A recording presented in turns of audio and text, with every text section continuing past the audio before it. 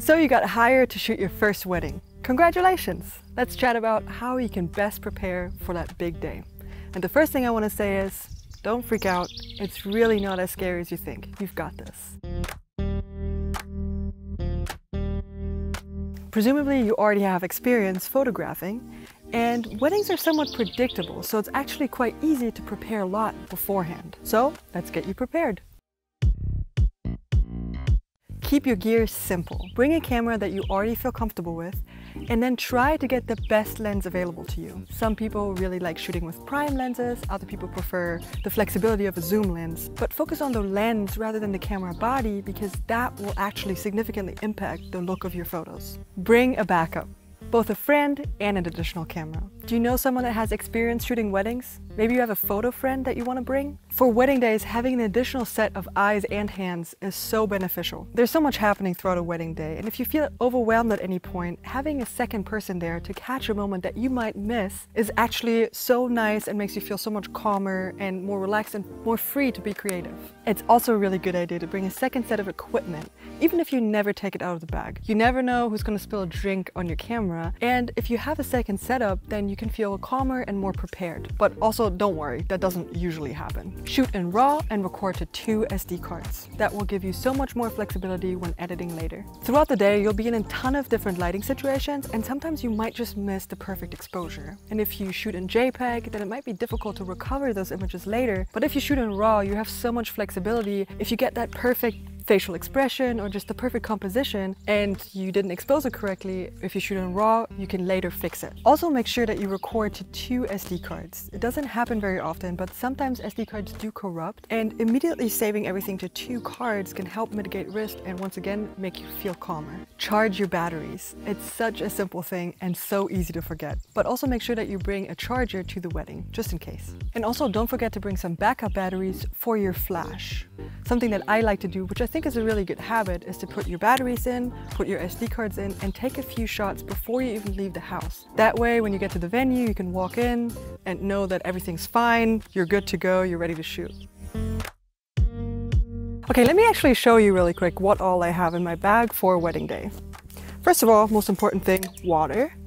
So today I have two camera bodies. I have the Sony a9 III, which I'm going to be shooting with mostly today. And on this I have a Sigma 50 1.2. That's going to be my main lens today. And then I also have a backup camera body, which is the a7R5. And on that I have a 24 to 70. And then I usually also like to have a 70 to 200 in here as well, which we'll see if we're going to use that today, but I always like to have it in my bag. And then I have some backup batteries in here as well, and a charger too. I also have a phone charger in here because I have all of the timelines and everything, all the contact contact information on my phone, so it's important to keep that charge as well. And because I like to have a little fun with film as well, I've got a film camera and a backup film roll. And then I also have a SmallRig card case where I keep all of my memory cards and I also have backups of those as well, just in case. And then just in case my feet hurt too much or something like that, I've got some Aleve as well, as well as some snacks, very important. And of course I'm bringing my flash as well. This one is the Godox V1 and I have some backup batteries for that as well. And then I'm also bringing a reflector today, which might be nice for some portraits later on. And this is also a situation where it's really nice to have an extra set of hands. You can have your friend hold this reflector for your portraits. And then I also like to have this little bag that I can just keep right on me. I put my phone in here, I put SD cards in here, anything that I need immediate access to, I'll put in here. And then this backpack is the WANDRD PRVKE 31 liters. It's really nice for weddings because you can fit a bunch of other stuff in there as well, just in case you have a very long wedding day. And once you get there, have a good attitude. This is the number one important thing. Do not stress, don't run, keep smiling, chat up guests, and just make your couple and their families feel comfortable. You're going to spend all day together, and as the photographer, you're oftentimes the person that the couple spends the most time with. So you gotta make sure that you're pleasant to be around. But also, don't be afraid to demand attention and take up space if you need to. For group shots, for example, make sure that you speak loudly and clearly so that everybody can hear you. You're probably directing a lot of people, and they will be very grateful for your guidance to make everything go smoothly and efficiently. Overshoot. If you're considering taking the shot, just go ahead and take it. Take two or three if there are people in the shot, because people actually blink a lot.